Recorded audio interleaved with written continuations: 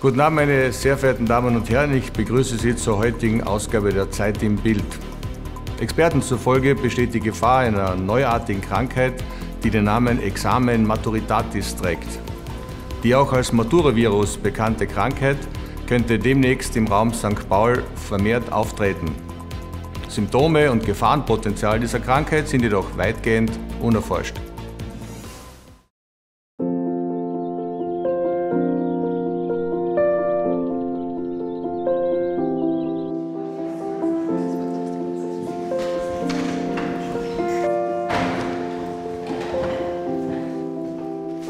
Begrüße zur ersten Mathestunde im neuen Schuljahr.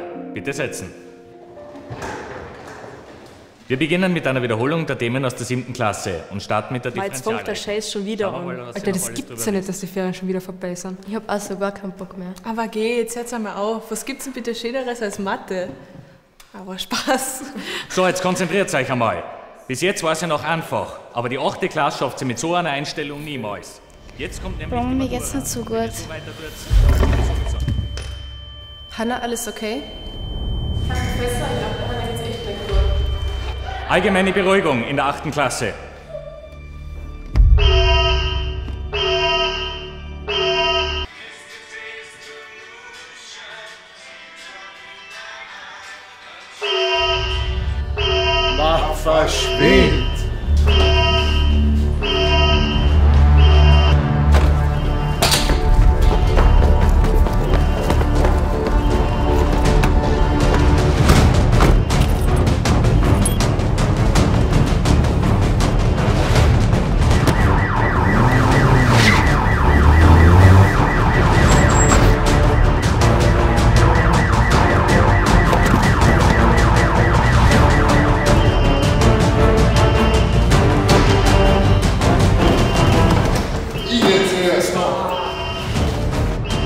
Da liegt die Patientin.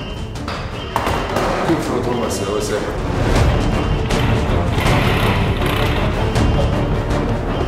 Na, dran. Du, ah, ja. Ah, das ist, das ist nichts. Jawohl.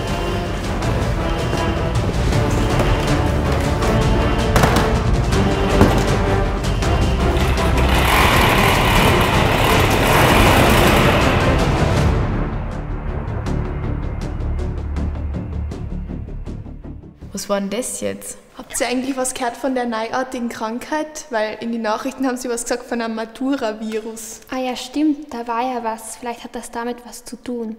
Die Befürchtungen der Experten haben sich bestätigt. Die ersten Fälle des neuen Virus Examen Maturitatis sind in St. Paul aufgetreten.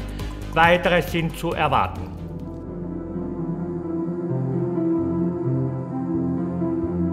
Jetzt hat's uns einfach auch schon erwischt. Ah, meinst echt, dass das der Matura-Virus ist?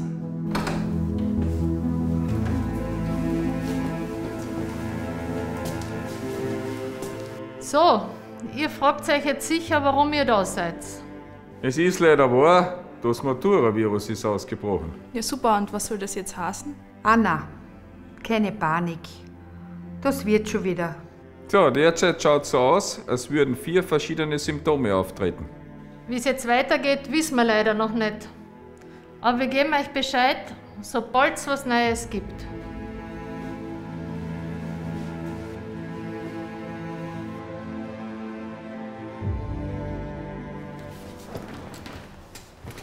Achtung, Achtung! Es folgen wichtige Informationen.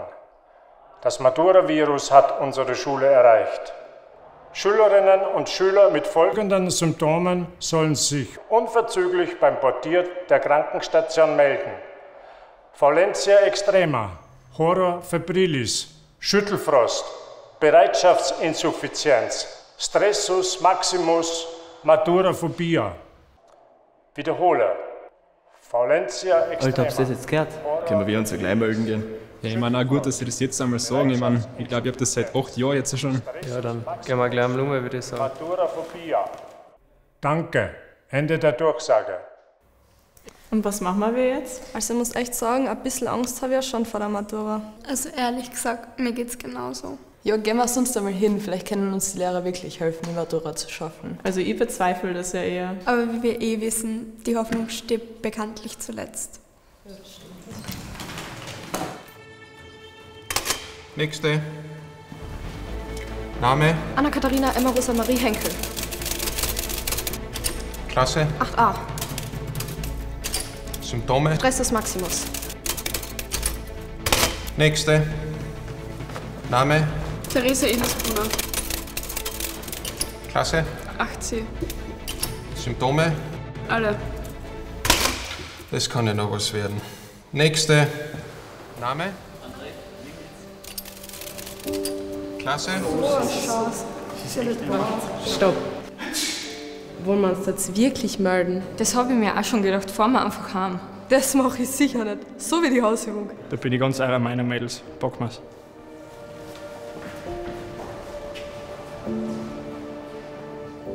Hey, schaut mal, es gibt neue Informationen zum Virus. Sehr geehrte Damen und Herren, wir haben eine Eilmeldung für Sie. Das Infektionsgeschehen am Stiftsgymnasium St. Paul bezüglich des Matura-Virus nimmt neue Höhenflüge an. Viele Schülerinnen und Schüler werden schon auf Stationen behandelt. Die Ärztinnen und Ärzte sind weiterhin um eine rasche Lösung bemüht. Ma, das wird ja immer schlimmer. Bald wird es uns auch treffen. Ja, so geht das nicht mehr weiter. Da muss jetzt eine Lösung her. Boah, jetzt wird's echt langsam Zeit. Wir müssen uns überlegen, mit was wir die Schüler heilen können. Ja, unbedingt. Ich verstehe das Ganze nicht. Jetzt haben wir sieben Jahre ohne gröbere Sachen überstanden. Und jetzt sowas. Die Schüler hätten mehr lesen sollen. Dann wäre das Ganze wahrscheinlich nicht passiert. Ja, Gelinde, aber das ist jetzt so und das kann man nicht mehr ändern. Wir müssen eine Möglichkeit finden, wie wir unsere Schüler von dem Virus heilen. Und gemeinsam finden wir eine Lösung. Ja, eigentlich sehr kein Motto. Ja, ich kann mich eigentlich auch nicht beschweren, aber es wäre schon sehr gut, wenn wir die Matura schaffen würden. Glaubt ihr wirklich, es gibt irgendwas, was uns helfen könnte? Natürlich, bis jetzt haben wir ja alles geschafft. Ja, hoffen wir's. Burschen, es geht nicht so weiter. Wir müssen irgendwas tun. Erstens können wir die anderen nicht im Stich lassen und zweitens wird es, wenn es so weitergeht, uns auch bald einmal treffen. Ja, was schlagst du vor? Ja, irgendwo muss es ja Informationen zur ganzen Krankheit geben.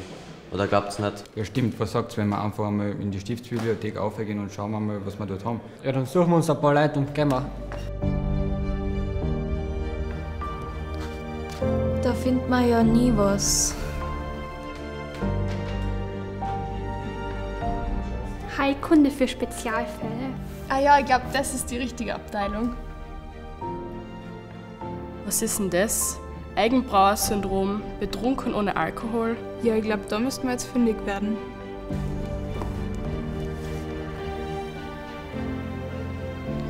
Mensch und Gesundheit? Ja, ich glaube, das wird passen.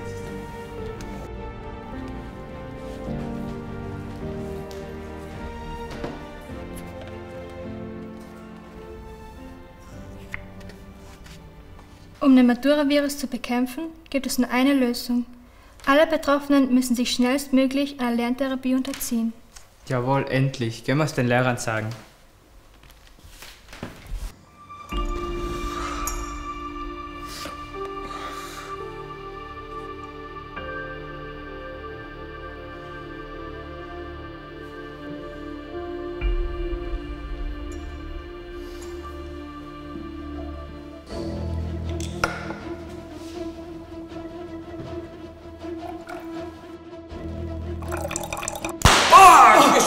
Herr Professor, es gibt kein so starke Misch.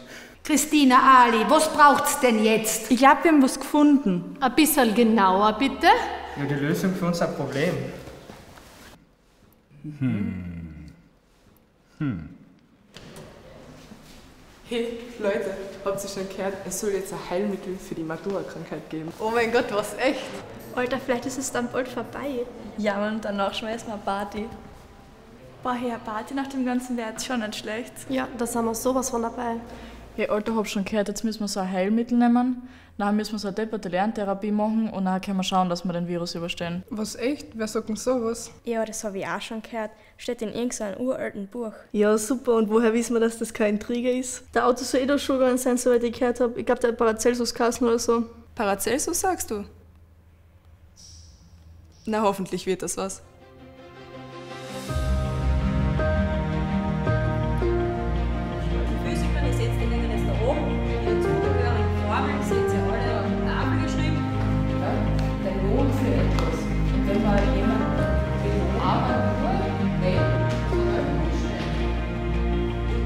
Formel bitte alle ins Heft schreiben. Frau Professor, wann ist denn das Ganze endlich vorbei? Mal, jetzt reißt ihr ein bisschen noch zusammen. Ihr werdet sehen, das Ganze zahlt sich dann aus.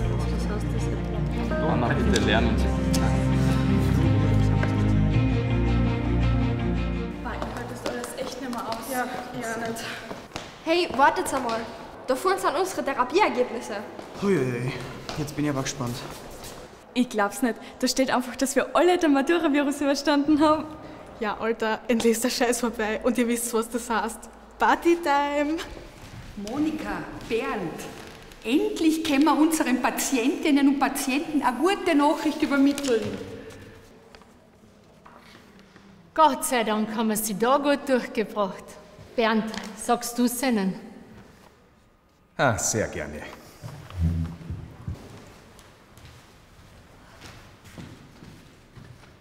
Liebe Schülerinnen und Schüler, wir alle haben vor allem in den letzten Wochen eine schwierige Zeit hinter uns.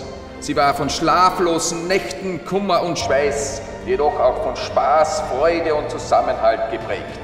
Mich freut es sehr, euch mitteilen zu dürfen, dass ihr alle den Virus Examen Maturitatis überstanden habt.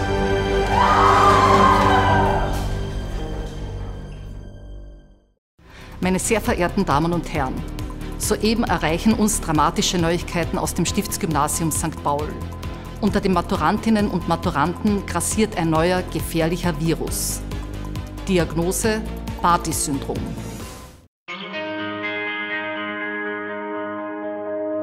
Too many days in the darkness without a glimpse of the light. Running tired and broken and scared, but I swear I'll never give up the fight. Every part of you wants to surrender, darling, you were meant to survive.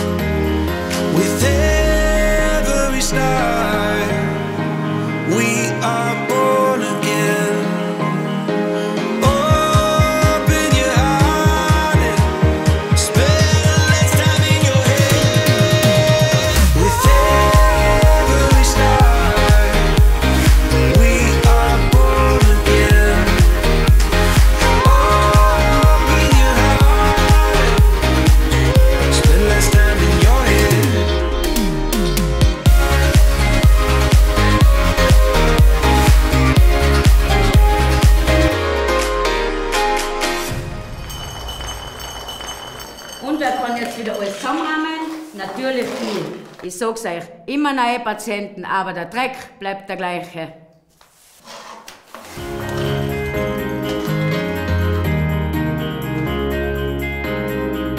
Alter, hör auf zu lachen.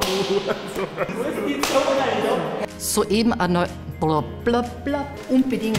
Wir brauchen eine Lösung. Und dann kommt der Wicht. Nein, Nein, nein. Mein Mantel ist echt nichts gewesen. Das ist so ungut. Aber ist. Na, warte. Stopp! Ein bisschen Excitement. Was muss ich noch so? Also, das ist in die Kamera, ja, passt schon. Das Matura-Video. Das Matura-Video. Aber ich glaube, sie. Ich glaube, sie. So muss man mal auslachen oder geht's? Das geht. nimmt neue Problematiken an. Das Infektionsgeschehen des Matura-Videos, ja. Was? Ja, Mit dem Videos, Virus. So, jetzt konzentriert.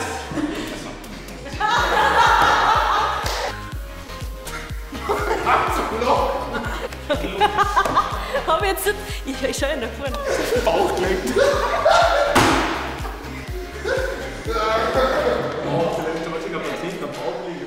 Guten Abend, meine sehr verehrten Damen und Herren. Ich begrüße Sie zur heutigen Ausgabe der Zeit im Bild.